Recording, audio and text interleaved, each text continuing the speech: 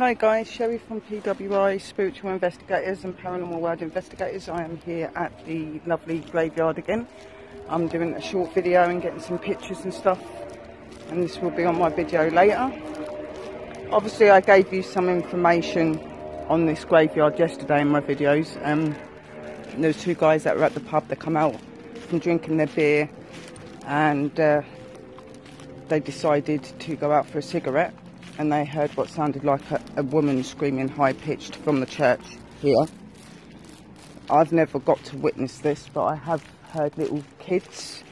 I have got some really good manifestations. I've got a soldier on a gravestone. I've got a black shadow of a guy that walked past me. I've had things thrown. I've had things being dropped, people walking around me. That happened yesterday actually on the video as well. So I thought I'd come back and get a little bit more because I am going live later. And we're going to be doing uh, the pictures, going through the EVPs.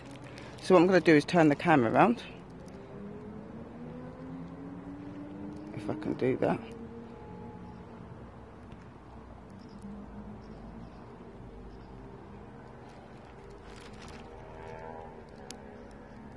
Don't think I can.